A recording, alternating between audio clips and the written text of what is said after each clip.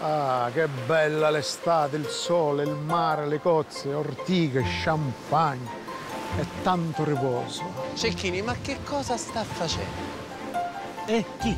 Lei, dobbiamo pensare al lavoro. Sto lavorando io. Eh sì, sì, mi, mi sto occupando di contrabbando di cocomere, squale, salvataggi bambini. Sì, vabbè, forza, torniamo in caserma. Aspettiamo Don Matteo. Don Matteo, ma chissà quando arriva.